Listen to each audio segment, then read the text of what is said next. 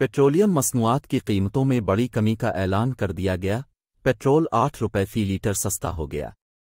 वजारत खजाना ने petrol, diesel की नई कीमतों का नोटिफिकेशन जारी कर दिया।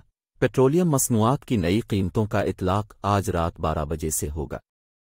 नोटिफिकेशन के मुताबिक पेट्रोल की फ़ी लीटर कीमत में आठ रुपये कमी की गई है, जिसके बाद पेट्रोल की नई कीमत तीन सौ तेईस रुपये अठतीस पैसे फ़ी लीटर मुकर्र कर दी गई।